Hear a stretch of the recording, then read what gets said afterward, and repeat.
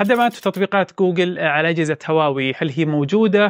كيف طريقتها؟ كيف طريقة التثبيت؟ إيش الطرق الجديدة؟ كل هذه بتكلم عنها بهذا الفيديو واللي تحديدا مخصص للأشخاص اللي معهم أجهزة هواوي أو شخص ناوي يشتري الجهاز ولكن حاب يعرف كيف طريقة التطبيقات أو تواجد التطبيقات وكيف قاعدة تعمل حاليا على الأجهزة خلنا نشوفها في هذا الفيديو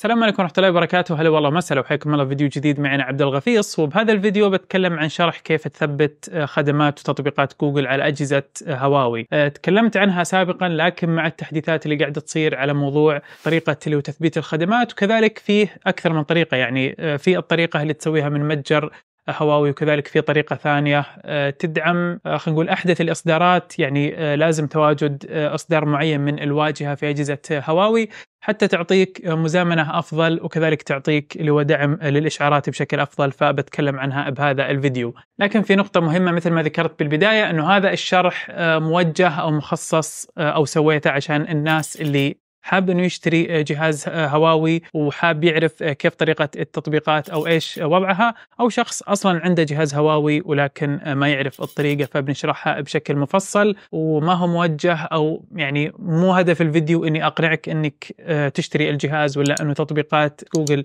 صارت موجودة على هواوي ابدا.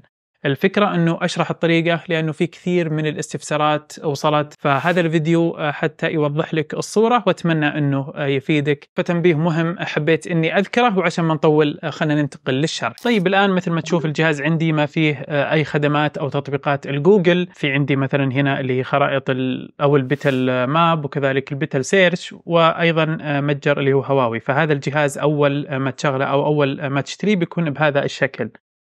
طيب مهم إنه ندخل للإعدادات وتسجل بحساب هواوي الموجود عندك. أو طبعا لو ما سجلت يعني من خلال الإعدادات ممكن إنه من خلال متجر التطبيقات. واللي حنا بنحمل الآن أو بنسوي الطريقة الأولى من خلال اللي متجر التطبيقات. فكل اللي عليك روح للبحث واكتب Google Play اللي هو متجر ال Google Play طيب لاحظ معاي بناخذ من الأول. يعني خلي القسم الثاني اللي هو من خلال ال Petal. لا أنا أبغى اللي من نفس ال AppGallery طبعا هنا فيه اللي هو ال Google Play لكن كان مكتوب إنه هذا التطبيق من خلال ال GBox فأنا ما عندي مشكلة. طبعا شوف كل التطبيقات يعني هذا من خلال ال GBox اللي هو Google Meet وفي مجموعة من التطبيقات أيضا اللي بتكون من خلال ال GBox وهذه اللي هي الطريقة الأولى اللي اتحسنت بشكل كبير. لكن أنا بروح هنا بيطلب منك اللي هو تثبيت ال GBox فبنثبت ال GBox برضو هذا من خلال اللي هو التطبيق أو من خلال متجر ال AppGallery من هواوي. طيب بعد كذا بنروح إلى فتح وبعدين موافق. الآن مثل ما تشوف هذا هو ال GBox اللي هو فكرته بيكون يعني كأنه طرف ثالث أو بيكون كأنه محاكي بيعطيك كل تطبيقات جوجل وكذلك الخدمات اللي أنت تحتاجها. مثل ما تشوف اللي هو متجر جوجل بلاي بما إنه ثبتناه فبيظهر معاك. تضغط عليه بهذا الشكل كتطبيقات مثبتة وبعدين إنشاء اختصار. الآن بيكون الاختصار موجود على الرئيسية. طيب لو ضغطت عليه إيش بيصير؟ بنضغط عليه.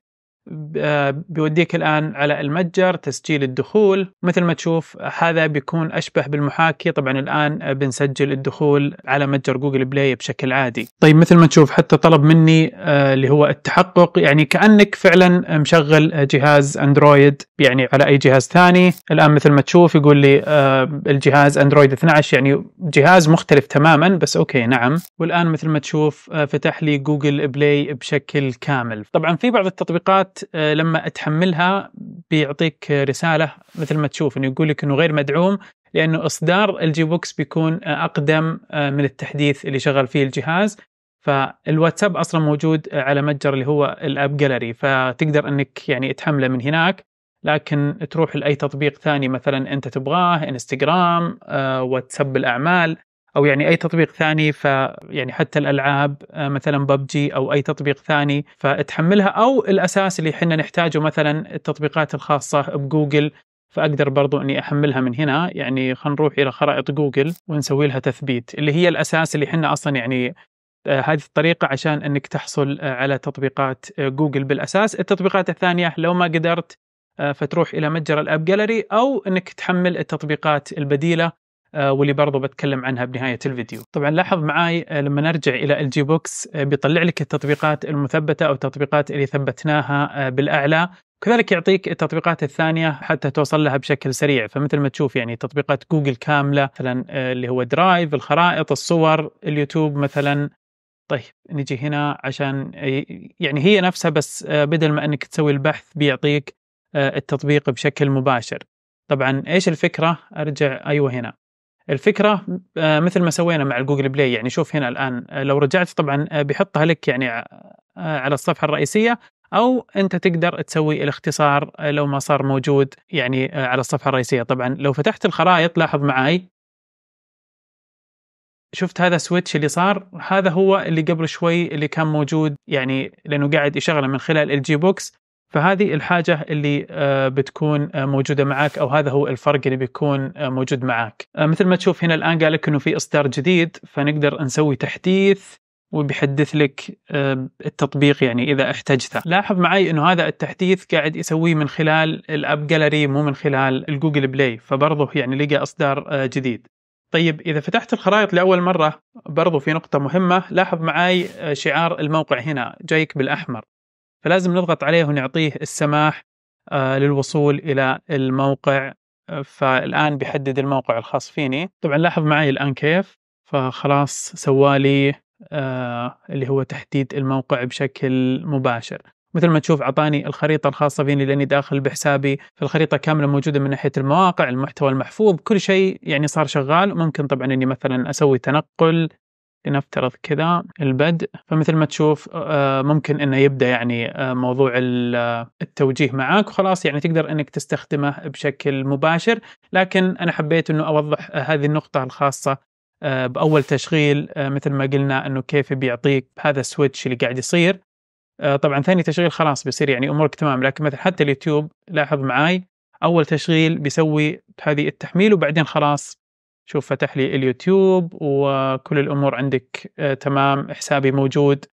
لو اشتريت ال Mac الجديد أو تبغى تنقل مثلا أقدر أسوي like أقدر أعلق أقدر أسوي يعني كل حاجة خلاص بنفس الحساب الخاص فيني. فهذه هي الطريقة الحالية. طبعا إيش عيبها؟ في عيب إنه لو أنت مثلا آه، حملت الآن آه، أي تطبيق يعتمد على خدمات جوجل ما راح يشتغل اللي هي Google Play Services. يعني لنفترض أنت عندك مثلا تطبيق آه، خارجي ولا مثلا تبغى تدفع من داخل مثلا التطبيقات فما راح تقدر تسويها يعني بهذه الطريقة لأنها ما راح تكون مدعومة. طبعا أرجع أقول لك إنه تقدر من خلال اللي هو متجر هواوي ال AppGallery تقدر تبحث عن التطبيقات وتحملها لكن هذه الآن من خلال ال GBox آه، بيسهل عليك لتطبيقات جوجل الأساسية. ومثل ما تشوف في مجموعة يعني مثلا آه، حاط لك اللي هو Amazon Zoom Apple Music Netflix وغيرها من التطبيقات الثانية فتقدر إنك يعني تحملها بشكل مباشر من هنا. أيضا لو رحنا على الثلاث نقاط في ال GBox في عندك تحديث التطبيق لاحظ معي. فبرضه بيعطيك إذا صار فيه أي تحديث آه، للتطبيقات. كذلك في عندك اللي هو تحديث الإصدار الجديد هذه الخاصة آه، بال GBox نفسه بيسوي تحديث لنفس ال GBox أو الحزمة الخاصة فيه أيضا في عندك الاستنساخ لو عندك أي تطبيق ثاني موجود ويدعم الاستنساخ ممكن إنك تسوي يعني منه آه، تطبيقين آه، من خلال ال GBox. في الطريقة الجديدة أو الطريقة الثانية لكن تحتاج انه يكون التحديث الخاص بجهازك ال EMUI 13 وأعلى، كيف أعرف؟ أروح إلى حول الهاتف أشوف الـ EMUI أنا عندي 14 ف 14 نعم مدعوم يعني من 13 وأعلى بيكون آه، مدعوم. الطريقة هذه بتثبت لك خدمات جوجل داخل الجهاز وبتعطيك يعني مثلا موضوع الإشعارات إذا كنت تعاني منها موضوع برضه آه، بعض التطبيقات اللي تعتمد آه، على Google Play Services اللي هي خدمات جوجل نفسها أو الأساس حق الخدمات فبرضه بتدعمها. فأنا أنصح إنه أنت تسوي كل الحاجتين يعني تثبت الـ GBox بهذا الشكل بعدين تروح تسوي الطريقة الثانية. طيب هذه كيف بنروح؟ نروح للمتصفح وبعدين نروح لهذا الموقع اللي آه، بحط لك آه، الرابط الخاص فيه بالوصف. لا مثل ما تشوف هذا الموقع بنروح إلى الثلاث نقاط الموجودة هنا بعدين download وبعد كذا بتحصل اللي هو direct آه، downloads مثل ما تشوف في عندنا ثلاث أشياء لازم نحملها. فعندك الـ services الـ framework الخاص آه، بجوجل نسوي له download. آه، طبعا بيعطيك هو تنزيل داخل المتصفح فلازم إنه نسوي سماح. أنا قاعد أمشي معاك آه، خطوة بخطوة لأنه أبي لو صار أي شخص يعني من أول تشغيل يقدر إنه يمشي وكل التطبيقات تكون شغالة معاه. فممكن يعني بعضكم يقول إنه أنت قاعد يعني تشرح بتبسيط بزيادة لكن أنا أبغى كل المستخدمين إنهم يستفيدون. طيب نجي للثاني برضه نسوي له تنزيل. لاحظ إني ما سويت اللي هو تثبيت. طبعا لو صار فيه أي مشكلة بالتحميل من خلال هذه الروابط انزل تحت. تقدر إنك تحملها برضه من خلال هذه الروابط الأخرى. بسماح طيب الآن بنبدأ نثبت واحد واحد. فنروح هنا إلى التنزيلات من خلال المتصفح. مثل ما تشوف عندي هذه الثلاثة. فأبدأ سماح تثبيت. تم التثبيت تم. نروح للثاني تثبيت. تم. نروح للثالث برضو تثبيت. طيب الآن بعد كذا حنروح للإعدادات. بعدين نروح للتطبيقات. التطبيقات والخدمات. ممكن طبعا آه، بعدين نروح للتطبيقات. ممكن تسوي بحث أو تروح للتطبيق بشكل مباشر. فنبغى التطبيقات اللي نزلناها قبل شوي. هذه التطبيقات اللي نزلناها. فندخل على هذا اللي هو microG. وبعدين بنروح إلى الاذونات إظهار جميع الاذونات ونعطيه يعني نتأكد إنك آه، معطيه آه، جميع الاذونات اللي هو يحتاجها. طيب الآن بنجي إلى microG Services Core وبعد كذا آه، مهم إنه نعطيه الاذونات اللي هو يحتاجها. طبعا الاذونات إيش؟ كل شيء شوف هنا آه، غير مسموح غير مسموح غير مسموح فأنا أجي أعطيه كله السماح دوما جهات الاتصال مسموح اذونات إضافية اظهار جميع الاذونات فلازم إني أتأكد إنه كل شيء آه يعني إنك معطيه كامل الصلاحيات اللي هو يحتاجها. ظهور أمام التطبيقات الأخرى. يعني أي أي حاجة من الاذونات لازم إنه نتأكد إنه إحنا أعطيناه الاذونات طبعا لو جينا هنا نروح إلى self-check فبتحصل إنه أنت يعني لازم هذه كلها تكون آه، صح. طيب بعد كذا نروح إلى account ونسوي آه، تسجيل دخول آه، بحساب جوجل الخاص فيك آه، من هنا. نفس الطريقة اللي سويناها قبل شوي مع الـ GBox لكن هذه بنسويها مع الـ microG طيب برضو مثل ما تلاحظ جاني موضوع التحقق بخطوتين على الأجهزة الثانية فنقول له نعم. بعدين نفس الرقم اللي هو 98 طيب. وافق. طيب الآن أضفنا الحساب. بعد كذا بنرجع إلى الإعدادات وبنروح إلى المستخدمين والحسابات. مثل ما تلاحظ ظهر عندي جوجل بنضغط عليه وبعدين بنضغط على هذا الخيار ومثل ما تشوف بنعطيه إنه يعني يوصل إلى الحسابات الخاصة فينا خلال التطبيقات فنتأكد أنها مفعلة طبعا هذه بتساعدك موضوع اللي هو المزامنة آه، على الحسابات. وبعدين الآن بنروح بنثبت آه، أحد التطبيقات آه، الخاصة أو المتاجر الخاصة بالتطبيقات.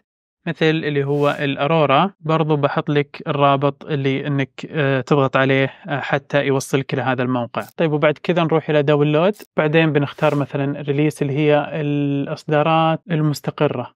هذا آخر تحديث. وبعدين نروح للتنزيلات. ونحمل اللي هي آخر النسخة اللي إحنا آه، ثبتناها من المتجر. سماح تثبيت. بعدين فتح. بعد كذا التالي ومن هنا نفعل الـ Google Play رابط غير معتمدة إضافة وبعدين نسوي لها تحديد. بعدين نرجع تم التفعيل مثل ما نشوف. التالي نعطيه منح الصلاحيات أيضا تنزيلات الخلفية المنح إنهاء. الآن بعدين من هنا بنروح إلى حساب آه، مجهول. يعني تسجيل الدخول من خلال الحساب المجهول. طيب أنا اللي يهمني الآن من الموضوع أني أروح وأسوي التحديثات. فمثل ما تشوف بنروح للتحديثات بعد كذا بيعطيك اللي هو التحديثات المتاحة للتطبيقات اللي موجودة عندك أو حتى بيعطيك اللي هو تحديث آه، لو آه، نزل إلى Google Services آه، أو حتى موضوع مثلا الخرائط وغيرها من التطبيقات. طبعا حاليا ما ظهر عندي اللي هو تحديث إلى Google Services لأنه حدثنا قبل شوي أحدث إصدار. لكن ممكن إنه بعد فترة يعني تتابع مع هذا التطبيق. لو نزل أي تحديث تقدر إنك تحدث. أو إنه بعض التطبيقات الثانية تقدر إنك تحملها آه، من خلال هذا المتجر. أتكلم عن التطبيقات يعني مثلا الواتساب أو أي تطبيق ثاني غير اللي هو تطبيقات جوجل. آه، فبكذا آه، هذا هو الشرح مثل ما ذكرنا الخطوة الأولى حتى تثبت اللي هو تطبيقات جوجل من خلال الـ GBox. واللي أرجع أقول إنه تحدث وتحسن عن أول فلو كان في تجربة سابقة سيئة عندك صدقني الآن صارت أفضل. آه، كذلك النقطة الثانية آه، حتى يضبط لك موضوع الإشعارات وكذلك المزامنة اللي مثل ما قلنا الـ microG اللي أعطانا آه، مثل ما تشوف حساب جوجل من داخل الإعدادات. والـ Aurora Store من التطبيقات الممتازة. لو حبيت إنك تحمل التطبيقات نقول يعني التطبيقات اللي ما تقدر تحملها من خلال الـ GBox أو كذلك ما لقيتها في متجر التطبيقات. والأهم مثل ما قلنا اللي هو في التحديثات حتى يحدث لك Google Services أو يعني غيرها من من التطبيقات لو صدر لها تحديث. فمثل ما شفت هذه الطريقة وهذه التطبيقات وبكذا بتعمل. فإذا عندك أي استفسار أذكر لي بالتعليقات. وإذا عندك أي استفسار أو حاجة برضو حاب إنه نشرحها فأكيد اكتبها لي وبإذن الله بنحاول إنه نتكلم عنها ونشرحها في فيديوهات قادمة. لا تنسى الاشتراك واللايك وأشوفك في فيديو جاي. والسلام عليكم.